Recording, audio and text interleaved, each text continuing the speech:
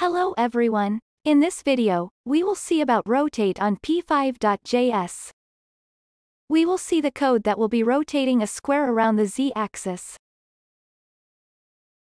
These are the default code on p5.js online editor.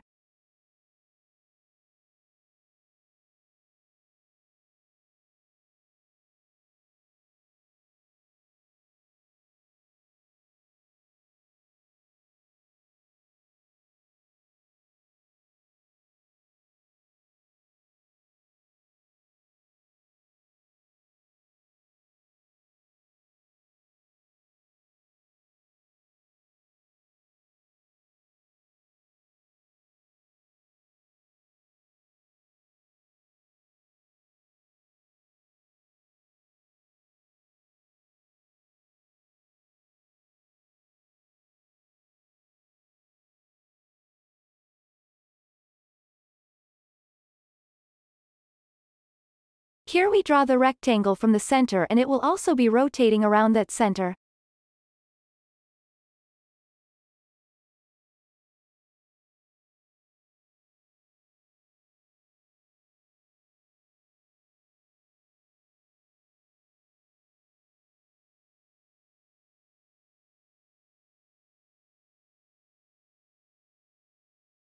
Then during even-numbered seconds, 0, 2, 4, 6 and so on, we add jitter to the rotation.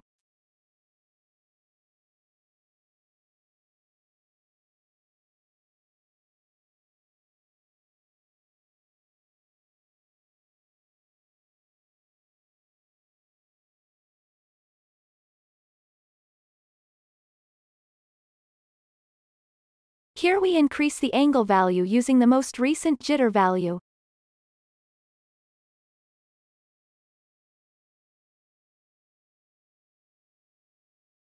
We use cosine to get a smooth CW and CCW motion when not jittering.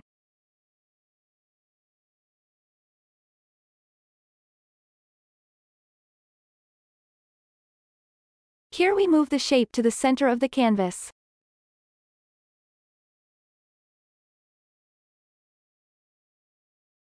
Now we apply the final rotation.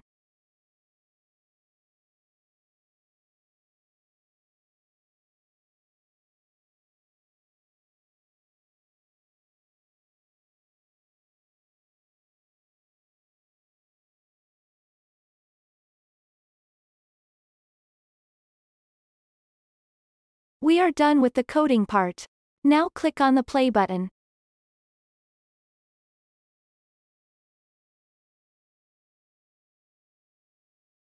That's all for today, thank you.